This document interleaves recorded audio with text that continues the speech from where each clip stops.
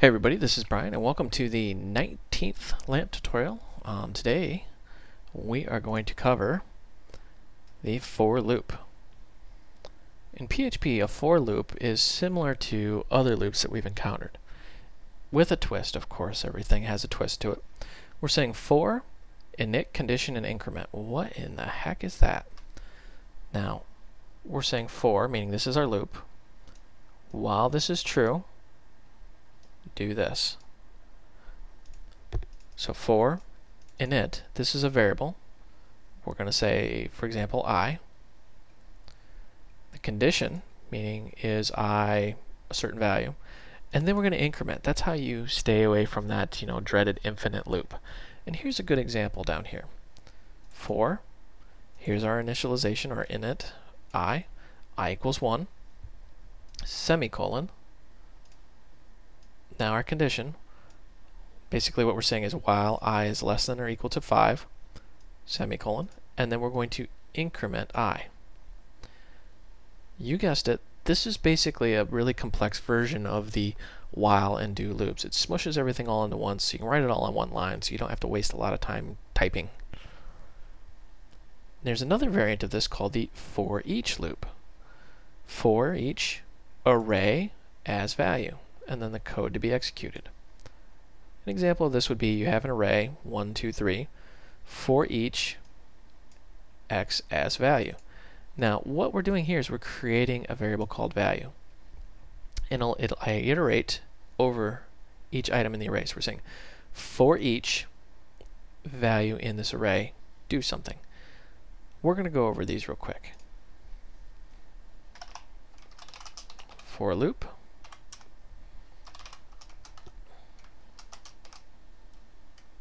and we're going to say. I equal 1 semicolon. Notice the semicolon in there. It's very important. And then we're going to say while i is less than or equal to 5 and then we need our we need our increment here. Say i plus plus. We're incrementing. That's how you keep from having an infinite loop. So this will do whatever we want it to do multiple times. So echo, and we're just going to print out the value of i.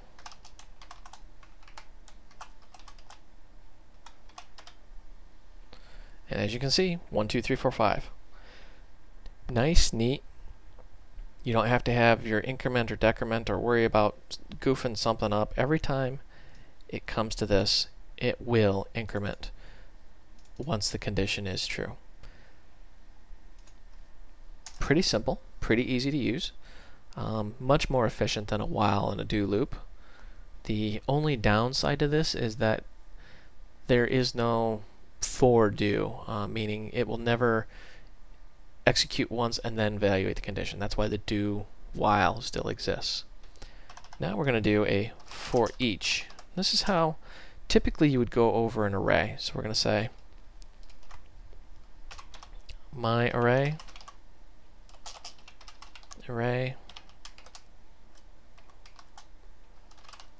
One, two,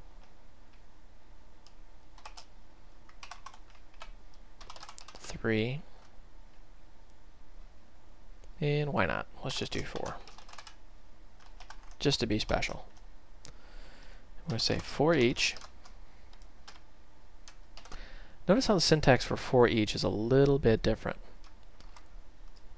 my array. Let's jump back to W3 schools. Make sure we're doing this right here. For each variable as value. What does that as mean? Well, if you know multiple programming languages like I do, you notice that the structure of the for each is almost always identical. It's just this little guy right here always changes. I, I really wish they would just pick, you know, a standard, but, you know, everyone's different. Sometimes it's for each in, sometimes it's for each comma, sometimes it's for each blah blah blah as blah blah blah, but for PHP it's as. And the reason why we're saying as is because we're creating a variable.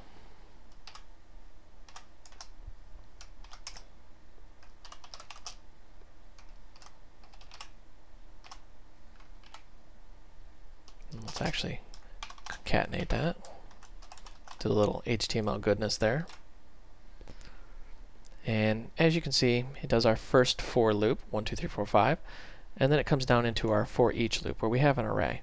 And this is probably the easiest way of iterating through an array. Um, you're just basically saying for each value in this variable as uh, whatever value, whatever variable we want to assign it to. We could name this fuzzy kittens if we wanted.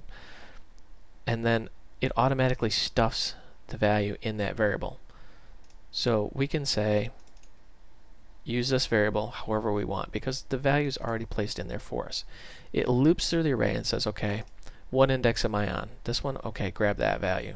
What index am I on? This one? Okay, grab that value. That's all it does.